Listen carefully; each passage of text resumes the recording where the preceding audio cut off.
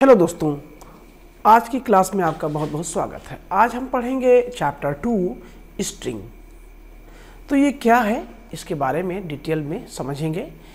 Input from console इस chapter में है और एक सैंपल प्रोग्राम हमें दिया गया है कि आपको एक सैंपल प्रोग्राम बनाना है। तो इसमें हम दोनों टॉपिक को समझेंगे और इनपुट फ़ंक्शन क्या है, इसकी पूरी जानकारी आपको इस वीडियो में देंगे।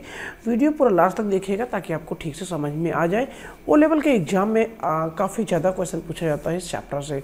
तो बहुत ही महत्वपूर्ण है इसको ठीक से समझना आपके लिए। तो चलिए शुरू करते हैं। सबसे पहले हम आपको यहाँ पे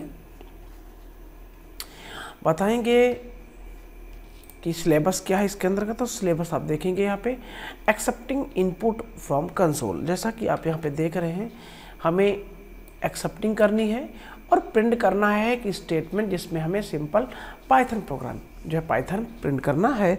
तो चलिए इस प्रोग्राम को हम शुरू करते हैं और बनाते हैं आपको यहाँ पे प्रोग्राम को, दिखाते हैं कैसे जो है, ठीक है? तो आपको बता दूँ कि अगर आप इसको समझना चाहते हो ठीक से तो यहाँ पे आपको मैं ये नोट्स है, इसमें हम आपको समझाते हैं पूरा ठीक से। तो देखिए कि पाइथन इनपुट क्या है? पाइथन इनपुट का मतलब होता है इनपुट एक फ़ंक्शन है। और इस फ़ंक्शन के द्वारा हम लोग कीबोर्ड से इन्फॉर्मेशन कोई भी इनपुट कराना चाहते हैं तो इनपुट करा सकते हैं। इसके लिए आपको कुछ नहीं करना, सीधा इनपुट लिख देना है, बस।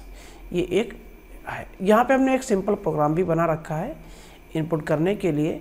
X is equal to input enter your name यहाँ पे हम प्रिंट कर देंगे बस सिंपल सा प्रोग्राम बन जाएगा। चलिए इसको हम प्रैक्टिकल करके आपको दिखाते हैं यहाँ पे। तो आपको बहुत ही आसानी से समझ में आ जाएगा ये। बहुत ही इजी है। तो जैसा कि यहाँ पे आप देख पा रहे हैं, अभी मैं यहाँ पे पाइथन को का कंसोल ओपन करूँगा। तो देखिए कि अब यहाँ पे हम पाइथन का कंसोल ओपन कर चुके हैं। यहाँ पे मुझे ये वाला हिस्सा इतना हटा दिया हमने। और हम यहाँ पे लिखेंगे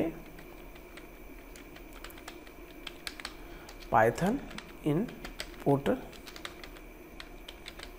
function. Function Python में इनपुट कैसे करना है? तो सिंपली यहाँ पे अगर मैं लिख देता हूँ एक्स और इक्वल लिख देता हूँ इनपुट, और मैं इसी एक्स को प्रिंट कर देता हूँ यहाँ पर। और अब इसी को मैं रन करता हूँ।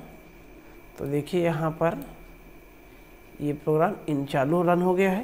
मैंने यहाँ पे लिख दिया।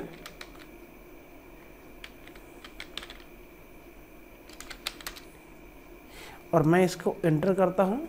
यही हमारा प्रिंट हो गया। अब यहाँ पे हम चाहते हैं कि इसको प्रॉपर में इनपुट कराएँ। तो हम यहाँ पे चाहें तो इसको एक तरीका और दे सकते हैं। प्रिंट एंटर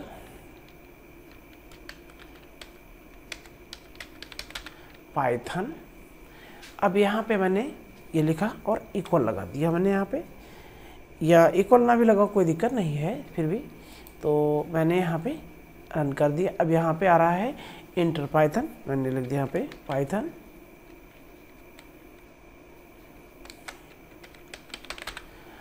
और एंटर करेंगे तो हमें रिज़ल्ट में भी पाइथन मिल जाएगा। तो कि यहाँ पे पाइथन किस तरह से आ रहा है, ये समझ में आपको आ गया है आसानी से।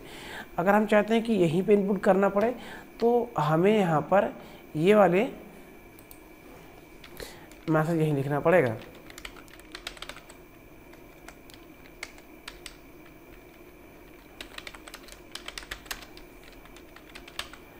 इंटर योर नेम ये हमने लिख दिया है, अब इसको रन करते हैं।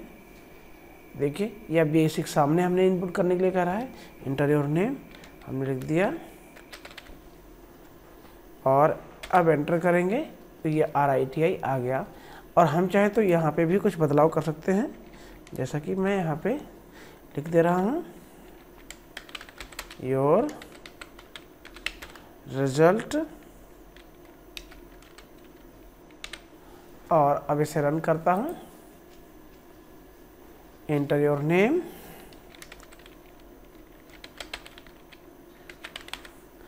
dot com